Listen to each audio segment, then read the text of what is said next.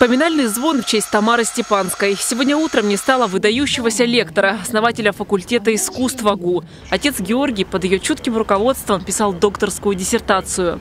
С ней встретились, помню, в архиве какая-то была выставка.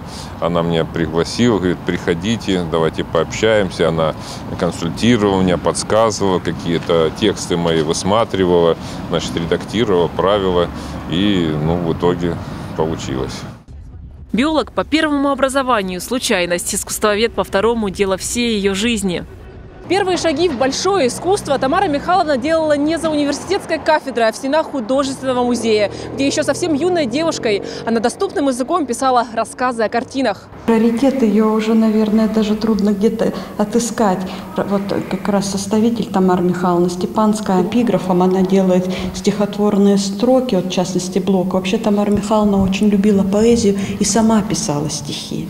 И вот, наверное, такой человек, который вот может писать стихи, который вот так тонко чувствует искусство, живопись, вот, архитектуру, музыку. Только такой человек с такой тонкой организацией души может быть искусствоведом.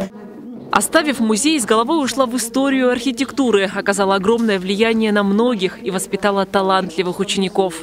Общаясь с большим количеством э, творческих личностей, художников, она вела потрясающий диалог – никогда не давила, но всегда четко доносила свою позицию, всегда была готова помочь. Она же организовывала в созданной ею галерее «Универсум» выставки не только профессионалов, но и множество художников, а, примитивистов там выставлялось, много, множество художников а, в области декоративно-прикладного искусства. Она дала просто а, многим жизнь вот в искусстве, когда раньше от них отмахивались.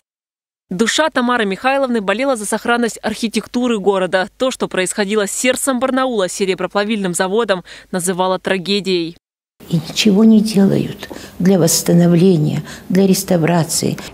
Но болела не только душа. Три последних года Тамара Михайловна сражалась с болезнью, но продолжала принимать последователей и друзей. Проводить в последний путь наставника придут многие. Дату и место прощания озвучат позже. Валентина Аскерова, Александр Антропов. День с толком.